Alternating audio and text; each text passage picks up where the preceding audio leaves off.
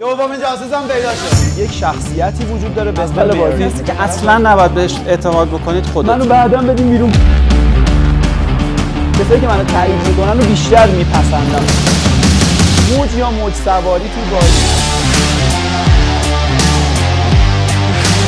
من نگاهم به کارگاه آموزش مافیا لزوما بررسی فقط فکرهای مافیا و مافیا یاد بگیریم. یا چیزی شبیه به اون که اول ایونت های خودم یا بقیه ایونت ها انجام میدیم و تون تون تون تون نقشه رو توضیح میدیم نیست. کارگاهش واقعا باید یه ذره بره ریشه تر بیاد پس ذهن شما رو تصویر بکنه.